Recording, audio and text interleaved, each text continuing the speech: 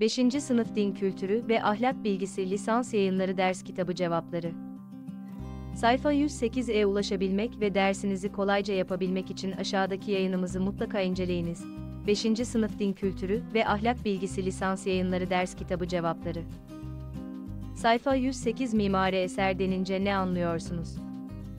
Cevap, insanlar çevrelerini beşeri ve insani ihtiyaçlara göre şekillendirmekte ve inşa etmektedir.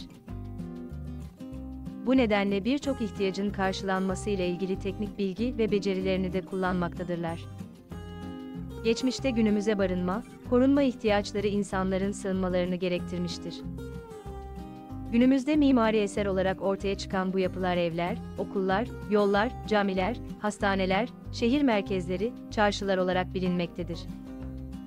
Birçok bina iş yeri, okul, hastane, ev olarak inşa edilmekte ve mimari eser değeri kazanmaktadır. Klasik mimaride önemli kültür değerleri ve izleri taşıyan eserlerin inşa gayesi bir medeniyeti de ihya etmektedir.